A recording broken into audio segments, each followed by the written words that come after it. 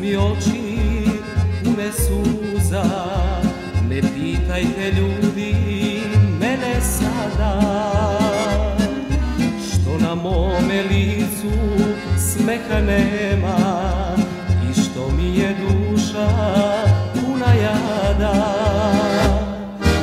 O, kako je teško bol ljubavi kriti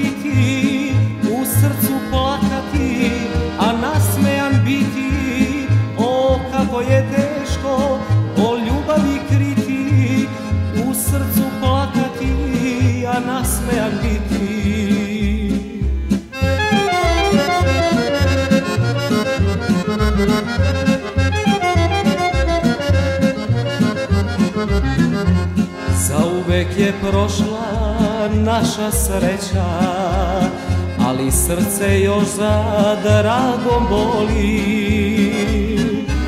Ne recite da je zaboravim Nikad neću drugu da zavolim. O, kako je teško bol ljubavi kriti U srcu plakati, a nasmejan biti. O, kako je teško bol ljubavi kriti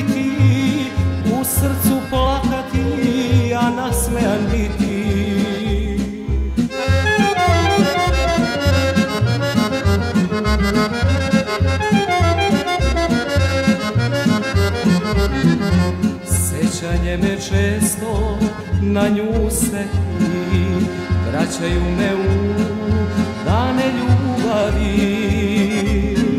Sve dok živim srce moje neće Nikad, nikad da je zaboravi.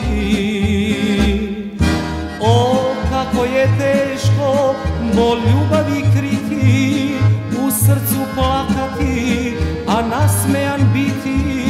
O, kako je teško bol ljubavi kriti U srcu plakati, a nasmejan biti